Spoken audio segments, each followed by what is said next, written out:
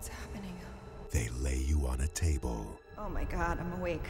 I should be under. I can't move. They prep you for surgery. I can feel that. I can feel what he's doing. But at this hospital, I'm awake! I'm awake! you're not a patient. Oh, my dear. I'm wide awake! You're a prisoner. We know you're awake. I'm awake! Please help me! It began with an accident.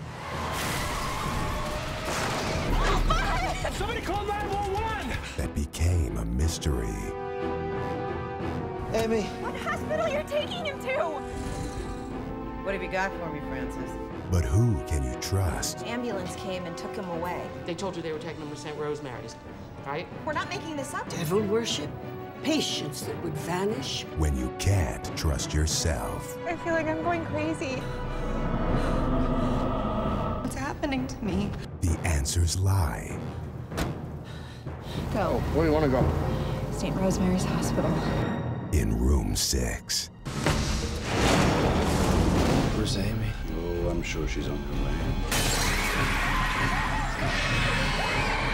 Christine Taylor, Shane Brolly, and Jerry O'Connell. We're gonna take good care of you.